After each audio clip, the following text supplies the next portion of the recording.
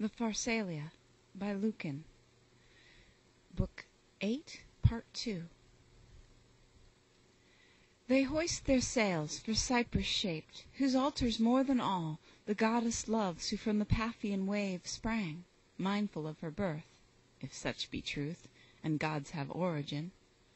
Past the craggy isle, Pompeius sailing, Left at length astern Its southern cape, and struck across the main With winds transverse and tides; nor reached the mount, Grateful to sailors for its nightly gleam, But to the bounds of Egypt hardly won With battling canvas, where divided Nile Pours through the shallows his Pelusian stream.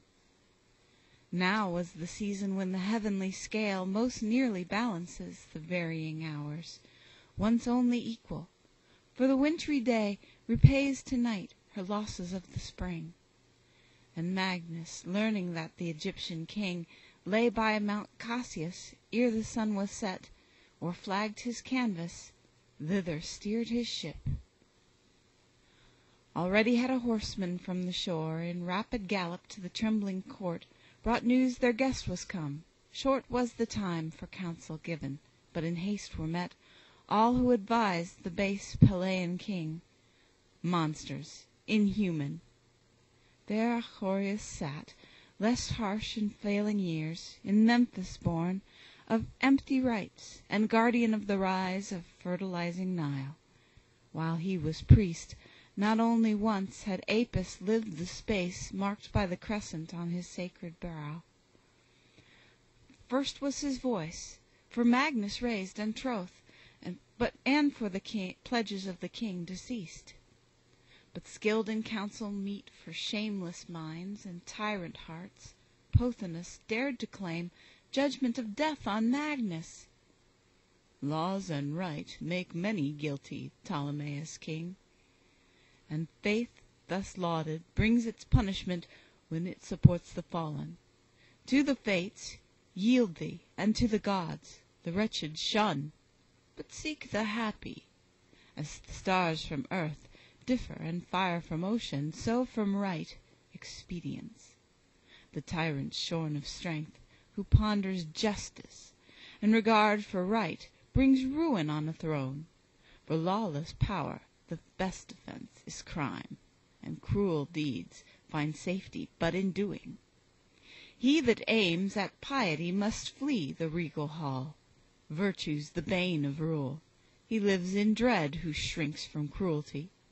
Nor let this chief Unpunished scorn thy youth, who thinks that thou Not even the conquered from our shore canst bar, Nor to a stranger, if thou wouldst not reign, Resign thy sceptre for the ties of blood.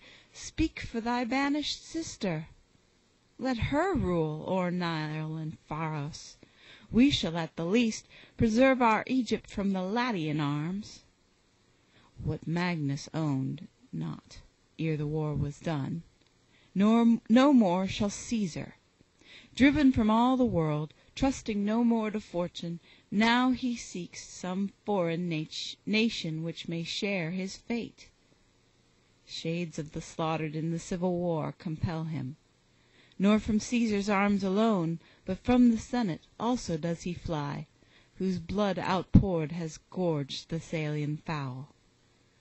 Monarchs he fears, whose all he hath destroyed, And nations piled in one ensanguined heap, By him deserted. Victim of the blow Thessalia dealt, refused in every land, He asks for help from ours, not yet betrayed. But none than Egypt with this chief from Rome Has juster quarrel, who has sought with arms To stain our Pharos, distant from our the strife And peaceful ever, and to make our realm Suspected by his victor. Why alone Should this our country please thee in thy fall? Why bring'st thou here the burden of thy fates, Pharsalia's curse? In Caesar's eyes, long since, We have offence which by the sword alone Can find its condonation, in that we By thy persuasion from the senate gain This our dominion. By our prayers we helped if not by arms, thy cause. This sword, which fate bids us make ready, Not for thee I hold prepared, but for the vanquished; And on thee would it had been on Caesar falls the stroke. For we are born, as all things, to his side. And dost thou doubt, since thou art in my power, Thou art my victim? By what trust in us Camp'st thou, unhappy? Scarce our people tills The fields, though softened by the refluent Nile. Know well our strength, and know we can no more. Rome 'neath the ruin of Pompeius lies. Shalt thou, king, uphold him? Shalt thou dare To stir Pharsalia's ashes, and to call War to thy kingdom? Ere the fight was fought We joined not either army. Shall we now Make Magnus friend whom all the world deserts, And fling a challenge to the conquering chief And all his proud successes? Fair is help lent in disaster, yet reserved For those whom fortune favors; faith her friend selects Not from the wretched. They decree the crime. Proud is the boyish tyrant that so soon His slaves permit him to so great a deed To give his favoring voice; and for the work They choose Achillas. Where the treacherous shore Runs out in sand below the Cassian mount, And where the shallow waters of the sea Attest the Syrtes near, in little boat Achillas and his partners in the crime With swords embark. Ye gods! and shall the Nile And barbarous Memphis and the effeminate crew That throngs Pelusian Canopus raise Its thoughts to such an enterprise? Do thus our fates press on the world? Is Rome thus fallen, that in our civil frays The Pharian sword finds place, or Egypt? Oh, may civil war be thus far faithful That the hand which strikes be of our kindred, And the foreign fiend held worlds apart! Pompeius, great in soul, noble in spirit, Had deserved a death from Caesar's self. And, king, hast thou no fear at such a ruin Of so great a name? And dost thou dare, When heaven's high thunder rolls, Thou, puny boy, to mingle with its tones Thine impure utterance? Had he not won A world by arms, and thrice in triumph scaled The sacred Capitol, and vanquished kings, And championed the Roman Senate's cause, He, kinsman of the victor? 'Twas enough To cause forbearance in a Pharian king That he was Roman. Wherefore with his sword doth stab our breasts? Thou know'st not, impious boy, how stand Thy fortunes; now no more by right Hast thou the sceptre of the land of Nile; For prostrate, vanquished in the civil wars, Is he who gave it. Furling now his sails, Magnus with care approached the cursed land, When in their little boat the murderous crew Drew nigh, and feigning from the Egyptian court A ready welcome, blamed the double tides Broken by shallows, and their scanty beach Unfit for fleets, and bade him to their craft, Leaving his loftier ship. Had not the Fates, Eternal and unalterable laws, Called for their victim, and decreed his end Now near at hand, his comrade's warning voice Yet might have stayed his course; for if the court To Magnus, who bestowed the Pharian crown, In truth were open, should not king and fleet In pomp have come to greet him? But he yields. The Fates compel. Welcome to him was death rather than fear; But rushing to the side, his spouse would follow, For she dared not stay, fearing the guile. Then he, "Abide, my wife and son, I pray you, from the shore afar Await my fortunes; mine shall be the life To test their honor." But Cornelia still Withstood his bidding, and with arms outspread Frenzied she cried, "And whither without me, Cruel, departest? Thou forbadst me share Of thy risks Thessalian; dost again command That I should part from thee? No happy star Breaks on our sorrow. If from every land Thou dost debar me, why didst turn aside In flight to Lesbos? On the waves alone am I thy fit companion? Thus in vain, leaning upon the bulwark, dazed with dread. Nor could she turn her straining gaze aside, Nor see her parting husband. All the fleet Stood silent, anxious, waiting for the end; Not that they feared the murder which befell, But lest their leader might with humble prayer Kneel to the king he made. As Magnus passed, a Roman soldier from the Pharian boat, Septimius, salutes him. Gods of heaven! There stood he, minion to a barbarous king, Nor bearing still the javelin of Rome, But vile in all his arms, giant in form, Fierce, brutal, thirsting as a beast may thirst For carnage. Didst thou fortune for the sake Of nations spare to dread Pharsalus' field This savage monster's blows? Or dost thou place Throughout the world for thy mysterious ends Some ministering swords for civil war? Thus to the shame of victors and of gods This story shall be told in days to come: A Roman swordsman, once within thy ranks, Slave to the orders of a puny prince, Severed Pompeius' neck. And what shall be Septimius' fame hereafter? By what name This deed be called, if Brutus wrought a crime? Now came the end, the latest hour of all.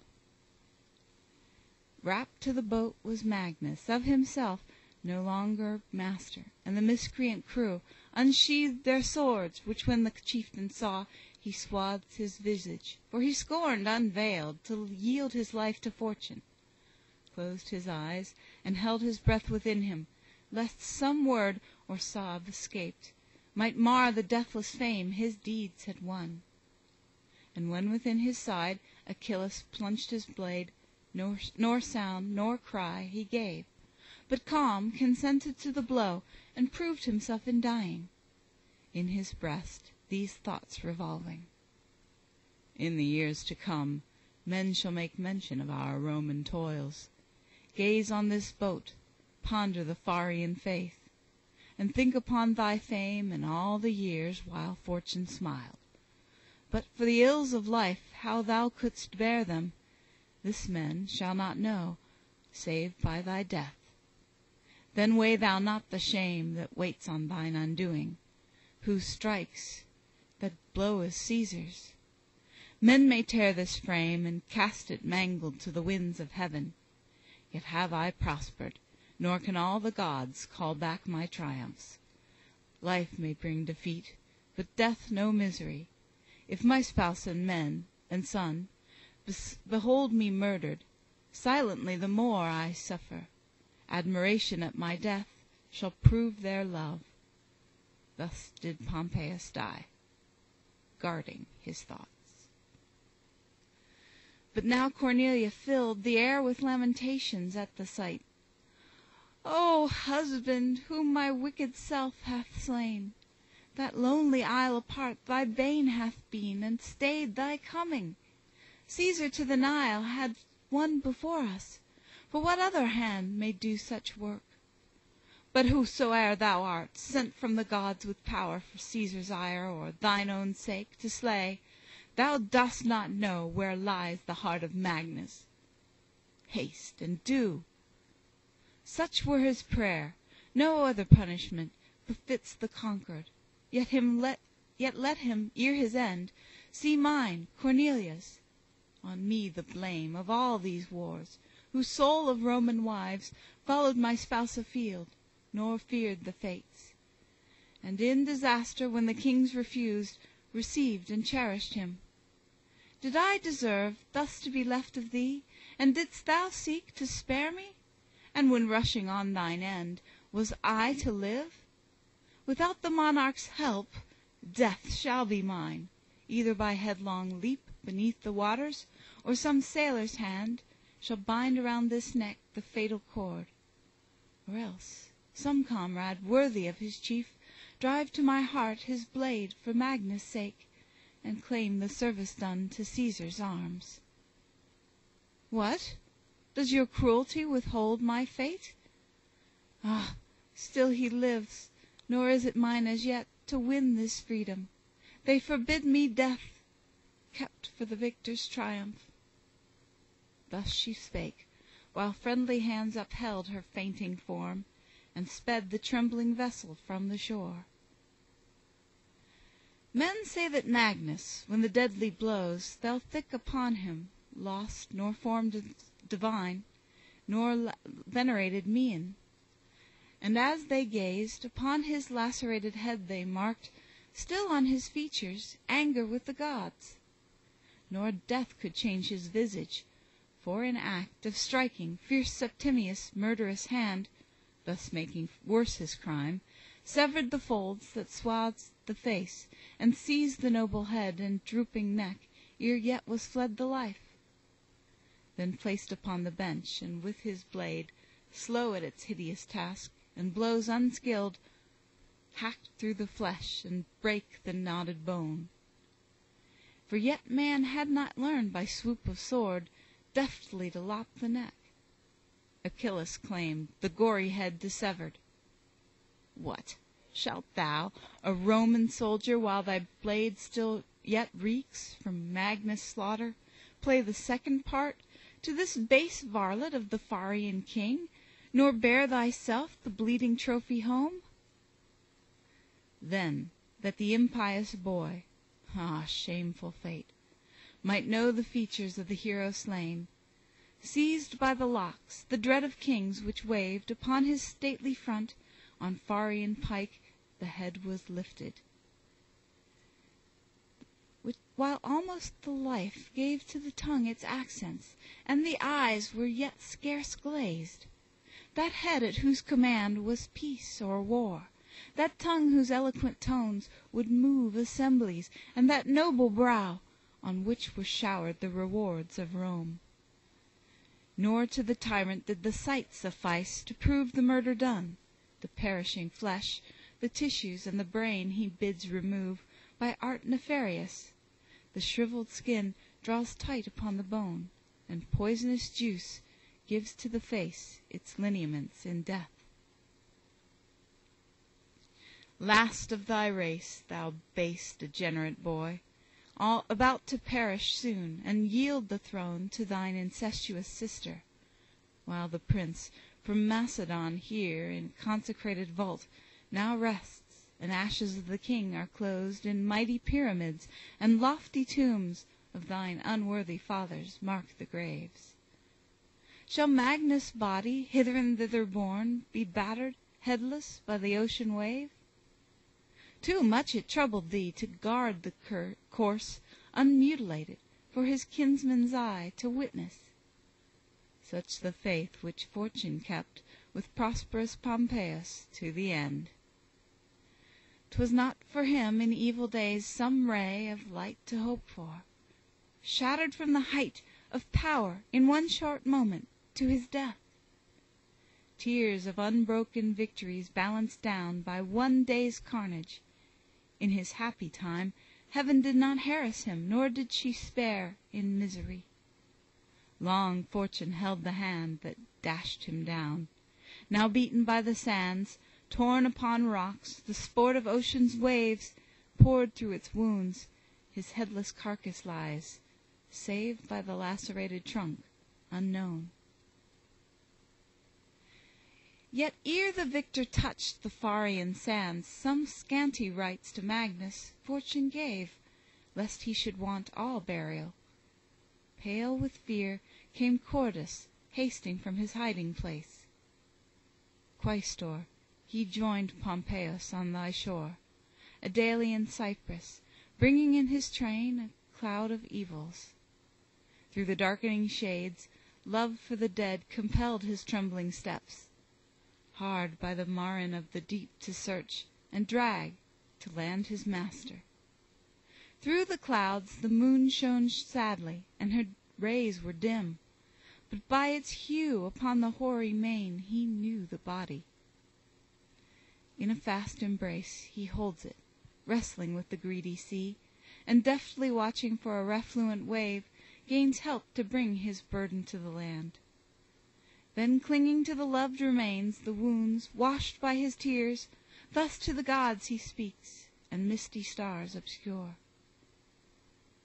"Here, Fortune, lies Pompeius, thine; No costly incense rare, or pomp of funeral He dares to ask; nor that the smoke rise heavenward From his pyre with Eastern odors rich, Nor that the necks of pious Romans bear him To the tomb, their parent; while the Forum shall Resound with dirges; nor that triumphs won of yore Be borne before him, nor for sorrowing hosts To cast their weapons forth.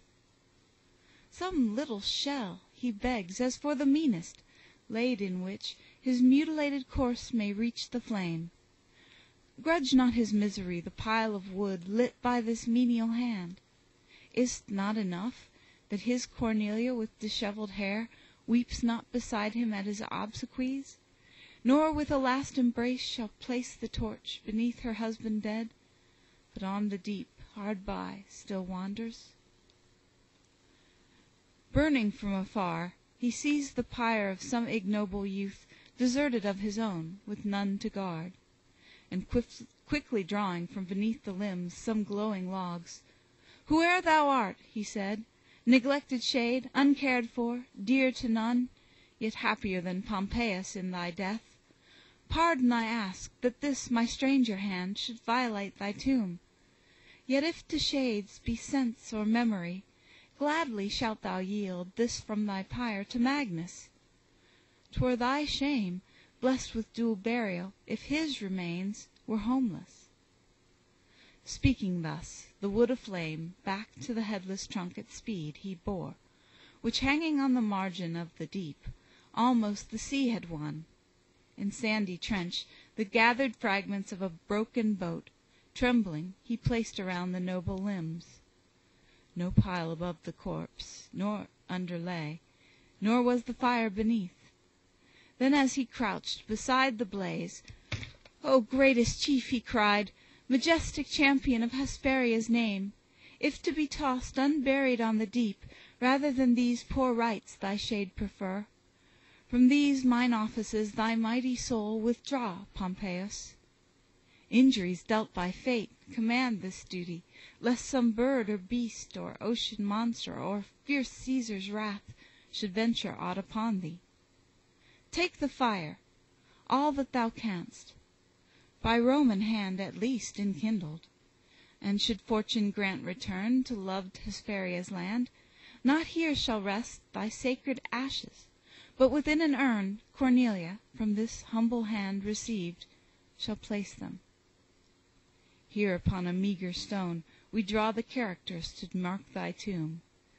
These letters reading, may some kindly friend Bring back thine head dissevered, and may grant Full funeral honors to thine earthly frame. Then did he cherish the enfeebled fire Till Magnus' body mingled with its flames. But now the harbinger of coming dawn Had paled the constellation. He in fear Seeks for its hiding place. Whom dost thou dread, Madman? What punishment for such a crime, For which thy fame by rumor trumpet tongued Has been sent down to ages? Praise is thine For this thy work at impious Caesar's hands. Sure of a pardon, go, confess thy task, And beg the head dissevered. But his work Was still unfinished, and with pious hand, Fearing some foe, he seizes on the bones Now half consumed, and sinews; and the wave Pours in upon them, and in shallow trench Commits them to the earth; and lest some breeze Might bear away the ashes, or by chance Some sailor's anchor might disturb the tomb, A stone he places, and with stick half burned Traces the sacred name, "Here Magnus lies." And art thou, Fortune, pleased that such a spot Should be his tomb, which even Caesar's self Had chosen, rather than permit his corse To rest unburied?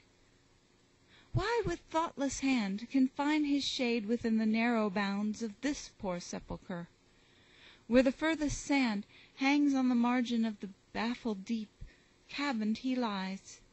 Yet where the Roman name is known, And empire, such in truth shall be The boundless measure of his resting place. Blot out this stone, this proof against the gods. Oeta finds room for Hercules alone, And Nysa's mountain for the Bromian god. Not all the lands of Egypt should suffice For Magnus dead. And shall one Pharian stone Mark his remains? Yet should no turf disclose His title, peoples of the earth would fear To spurn his ashes, and the sands of Nile No foot would tread. But if the stone deserve so great a name, Then add his mighty deeds. Write Lepidus conquered, and the Alpine war, And fierce Sertorius by his aiding arm O'erthrown, the chariots which as night he drove. Cilician pirates driven from the main, And commerce safe to nations; Eastern kings Defeated, and the barbarous northern tribes. Write that from arms he ever sought the robe; Write that content upon the Capitol Thrice only triumphed he, nor asked his due. What mausoleum were for such a chief A fitting monument? This paltry stone Records no syllable of the lengthy tale Of honors and the name which men have read Upon the sacred temples of the gods, And lofty arches built of hostile spoils. On desolate sands here marks his lowly grave With characters uncouth, such as the glance Of passing traveler or Roman guest Might pass unnoticed.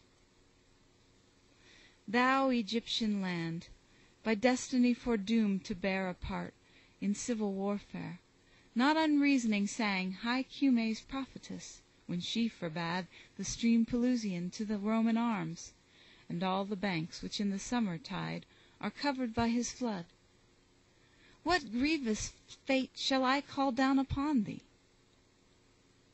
May the Nile turn back his water to his source, Thy fields, want for the winter rain, And all the land crumble to desert wastes.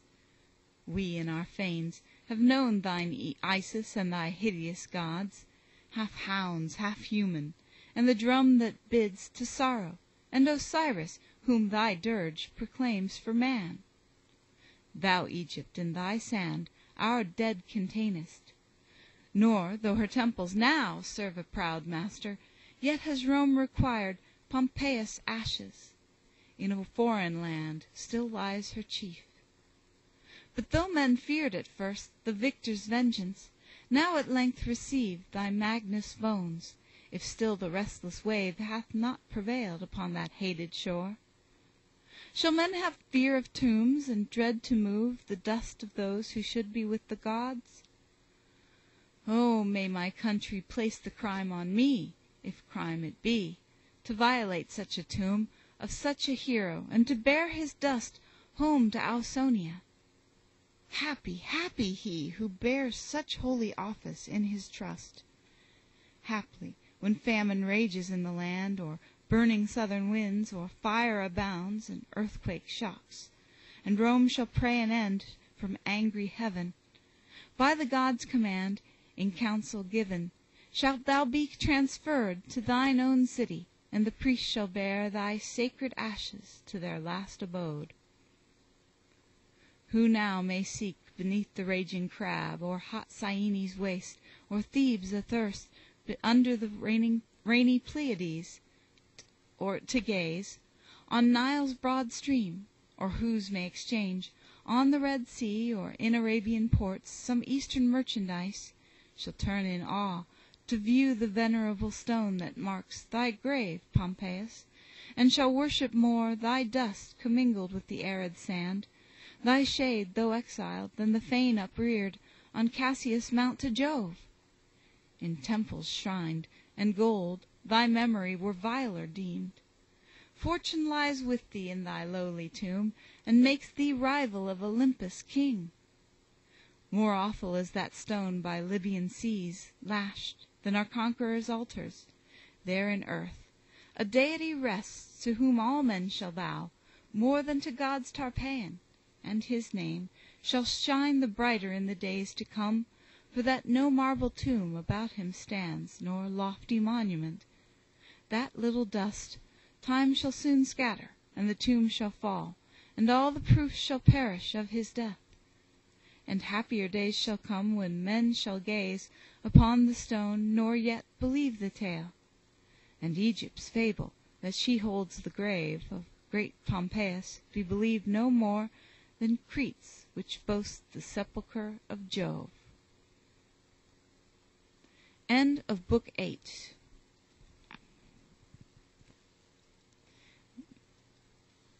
and